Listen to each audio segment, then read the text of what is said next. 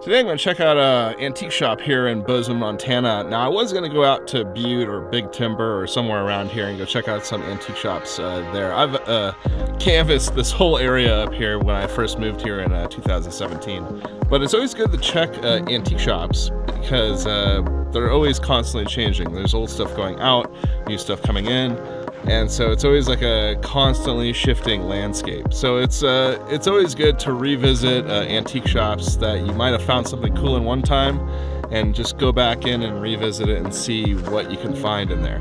So that's what I'm gonna do today. I'm actually gonna go to an antique shop that I actually haven't been to in almost two years, and uh, see what has changed here, if anything.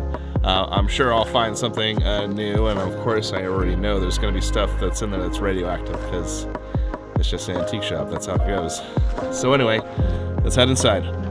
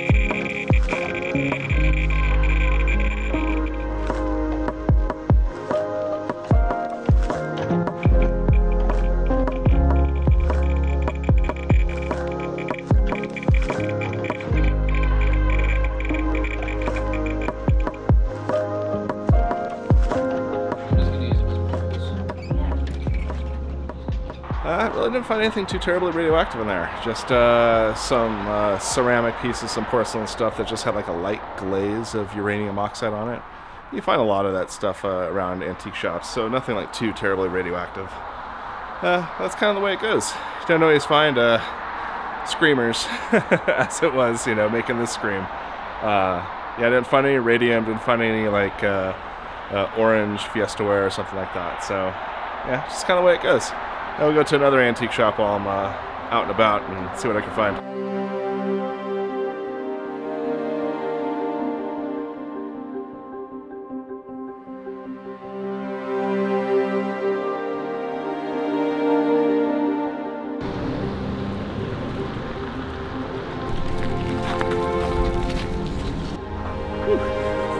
chilly on this side of the street.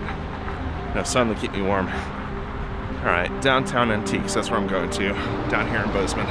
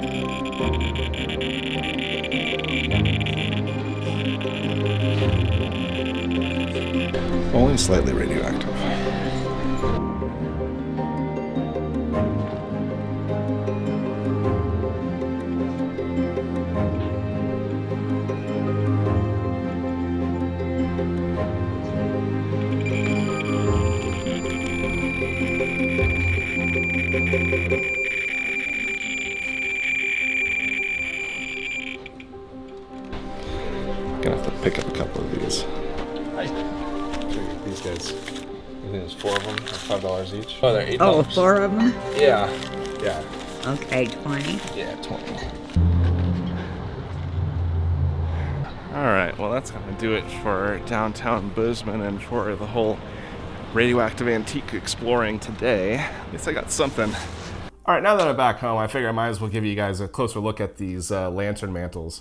Uh, these are actually pretty cool to me because I don't have any of them in my collection, at least now I do. They're to be used in a gasoline uh, lantern, which is kind of interesting. I didn't realize they used uh, gasoline lanterns. It was probably before my time. I remember propane when I went camping. Uh, but these aren't dangerous. They are radioactive, but the radiation isn't too intense. Uh, it gives about uh, 20,000 counts per minute uh, normal background radiation is 35 counts per minute, so that's like around 800 to 900 times above background radiation. But the type of radiation that is coming off of this is mainly alpha and beta radiation, which isn't too penetrating. It also does give off some gamma radiation, but very little. And just to show you how radioactive it is, I have my Geiger counter here.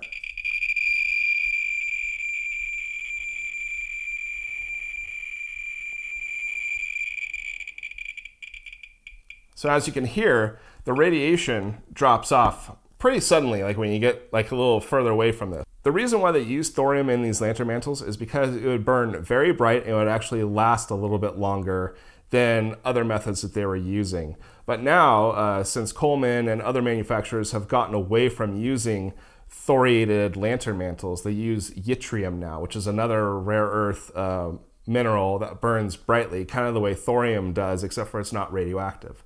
Now, these aren't dangerous uh, if you're uh, being a little careful with them.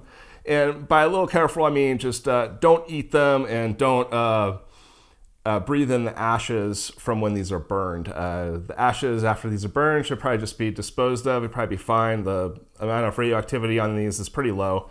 So it's really nothing to uh, be too concerned about. The ashes can contaminate an area if you're not careful about it.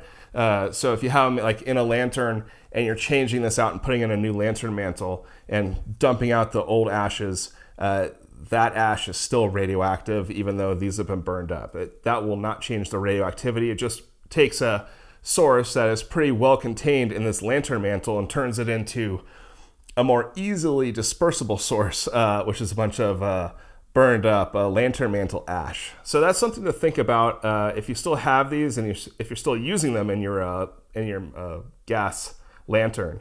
But anyway, I hope you enjoyed a, a, quick look at this and a quick little recap of that antique shop or those two antique shops. But anyway, I'll see you in the next one. Take it easy.